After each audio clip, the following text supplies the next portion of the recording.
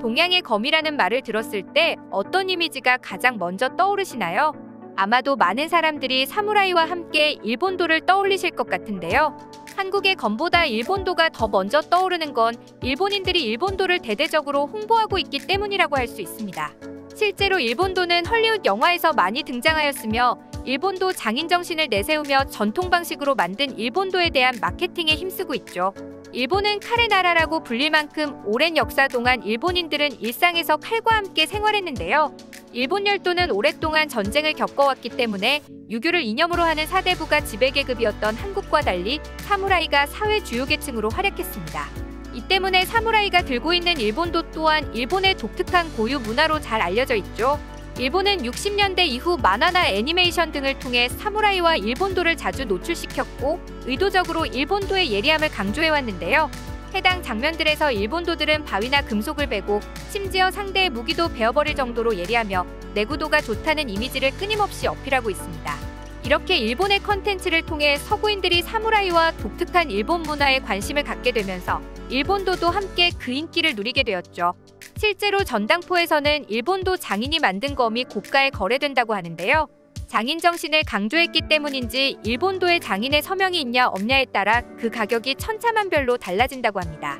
그동안 일본도 장인들은 자신들이 만든 칼이 날아오는 총알도 반으로 벨수 있다고 자랑하고 다녔고 일본도만 있으면 웬만한 권총도 이길 수 있다고 말하며 자부심을 내보이기도 했죠. 하지만 얼마 전부터 일본도에 대한 실체들이 벗겨지면서 일본도의 성능 시험 영상이 커뮤니티를 뜨겁게 달구고 있습니다. 그동안 명품 칼로 생각했던 일본도보다 한국의 환도와 월도가 더 뛰어나다는 전문가들의 주장이 있어 많은 사람들을 충격에 빠뜨린 건데요.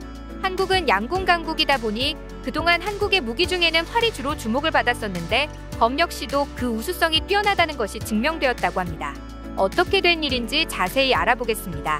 일본도의 실체가 까발려진 것은 무기 전문가 빌 데이비스의 실험에서였는데요.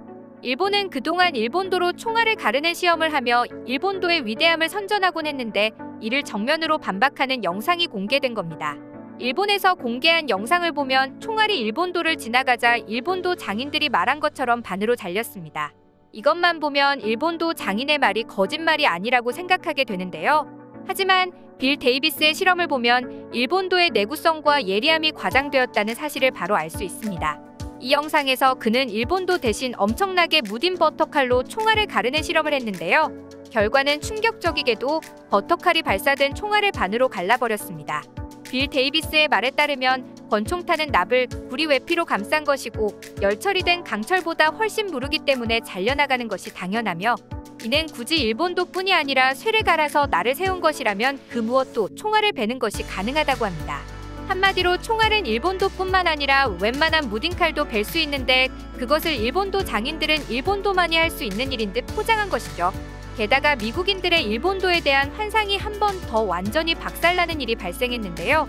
바로 미국 뉴올리언즈 국립 2차 세계대전 박물관의 한 전시품 때문이었습니다. 이 전시품은 바로 당시 미군이 착용했던 철모와 그 옆에 함께 전시된 일본도였는데요. 이 철모를 살펴보면 한쪽이 찌그러져 있는 것을 확인할 수 있는데 이는 1942년 과달카날 전투에서 해병대 대위 월터 스토퍼 맥크레니가 일본군 장교가 휘두른 칼에 맞아 생긴 흔적이라고 합니다. 일본도 장인들은 일본도가 뭐든지 뵐 수 있을 것처럼 포장했지만 사실 그렇지 않았다는 것을 미군의 철모를 통해 밝혀진 것입니다. 2차 세계대전 당시에 일본의 철강 기술이 그나마 발전해서 철모를 찌그러뜨릴 수 있었던 것이지 메이지 유신 이전 일본도는 더 처참했다고 알려졌는데요. 과거 일본 사무라이들의 사진들을 보면 칼을 두 개씩 차고 다니는 사진들을 많이 볼 수 있습니다. 이렇게 굳이 두 개씩이나 칼을 차고 다닐 수밖에 없었던 이유는 사무라이들이 가지고 다녔던 일본도들은 부딪히기만 하면 부러지기 일쑤였기 때문이라고 하는데요. 전투 중에 칼이 부러지면 곧 죽음을 뜻하기 때문에 예비용 칼을 항상 가지고 다닐 수밖에 없었다고 합니다. 심지어 일본도로 대나무 같은 것을 잘못 뺐다가 칼날이 나간 경우도 있었다고 하니 그 내구도가 얼마나 낮았는지를 알 수 있죠. 우수한 철광석이 많은 한반도와 달리 일본에서는 모래가 섞인 사철을 칼 제작에 많이 썼기 때문에 쇠의 강도가 약했고 그래서 쇠를 여러 번 두드려 강하게 연마하는 방법을 썼지만 그렇게 죽어라 두드려대며 연말을 해도 칼은 힘없이 부러졌다고 하는데요. 이전 외란 당시 기록들을 살펴보면 일본도가 조선 환도와 부딪혀 깨졌다는 기록이 많이 있을 정도로 조선 환도와 일본도의 내구도 차이는 어마어마했죠. 한 역사학자는 이 때문에 과거 조선 장수와 외장이 1대1로 싸우면 조선의 장수가 이기는 경우가 더 많다고 설명하기도 했습니다. 이처럼 한국의 단단한 검과 비교했을 때 일본도는 상당히 무른 편이라 할 수 있습니다. 그렇다면 한국을 대표하는 칼은 무엇일까요? 바로 월도와 환도를 들 수 있는데요. 환도는 14에서 19세기 사이 조선시대에서 사용한 전투용 외날검입니다. 가볍고 크기가 적당해서 조선시대 병사들이 빠르고 효율적으로 적을 벨 수 있었죠. 조선 환도는 조선의 엄청난 철강 기술로 그 내구도가 엄청났다고 알려졌습니다. 환도는 오랜 역사에 걸쳐 독자적인 제작 방법을 발전시켜 오면서 한국 고유의 칼로 자리 잡게 되었는데요. 최근엔 OTT 유행작인 킹덤에도 등장해 전 세계의 눈길을 끌었죠. 한편 환도의 우수성은 미국 히스토리 채널에서 방영된 최강의 검 한국 특별판에서 증명됐는데요. 이 프로그램은 제한 시간 내에 뛰어난 검을 만들어 주어진 미션을 완수하는 오디션 프로그램이었습니다. 한국 시청자들을 위해 특별히 제작된 한국편에서는 조선을 대표하는 환도와 월도에 초점을 맞췄는데요. 서양의 대장장이들은 월도와 환도를 제작해야 하는 경연을 치르게 됐습니다. 히스토리 채널에서는 월도를 칼과 창을 합쳐놓은 듯한 무기로 창에 긴 손잡이에 칼을 붙인 모양이라고 설명했으며 이는 6세기부터 한국에서 사용되었다고 말했는데요.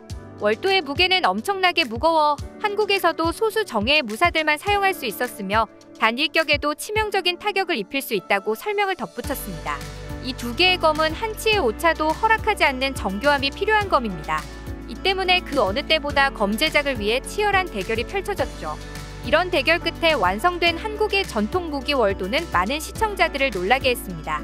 그 위력이 어마어마했기 때문인데요. 해당 프로그램에서 재현된 월도는 인간의 상반신을 비슷하게 만든 마네킹을 형체를 알아볼 수 없게 베어냈고 내부의 뼈들도 모두 반으로 갈랐습니다.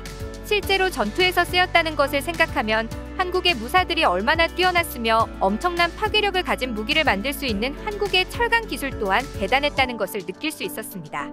이 방송을 본 중국 네티즌들은 예상에서 벗어나지 않는 반응을 보였습니다. 이번에도 월도가 중국 무기라며 거세게 항의했다고 하는데요. 중국의 이런 억지 주장에 대해 최강의 검 제작진은 대꾸할 가치도 못 느낀다는 듯 오히려 태극기를 강조하며 월토가 한국 전통 무기가 맞다며 뜻을 굽히지 않았죠. 이후 참가자들은 환도를 제작하게 되었는데요. 미션이 종료된 후에 진행자가 환도로 장창을 힘껏 내리치자 장창의 손잡이가 부러졌고 환도는 멀쩡하게 있는 모습이 영상으로 공개돼 많은 네티즌들을 놀라게 했죠. 참가자들은 한국의 유산과 역사를 배우는 건 정말 끝내주는 일이라고 소감을 밝혔습니다. 특히 한국은 우수한 성능의 도금을 만들어내는 물 담금질의 대가라고 덧붙이며 한국의 장인 정신을 높게 평가했죠. 일본에 미화된 일본도보다 묵묵히 자기의 길을 가는 한국의 환도와 월도가 더 장인 정신에 어울리지 않나 하는 생각이 듭니다. 우리의 환도와 월도의 우수성이 더 널리 퍼져나가길 바라겠습니다. 오늘 준비한 내용은 여기까지입니다. 시청해주셔서 감사합니다. 영상이 즐거우셨다면 좋아요와 구독하기 버튼도 눌러주세요. 지금까지 이슈 친구였습니다.